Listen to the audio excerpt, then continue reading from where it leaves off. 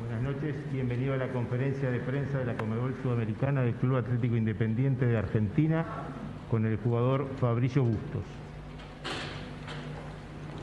Pregunta de Maximiliano de Vita Lemus, de Radio Ciudad Venado FM 88.1, para Fabricio.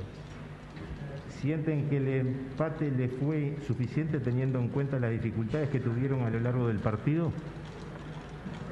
Creo que, que por ahí el primer tiempo nos costó acomodarnos un poco.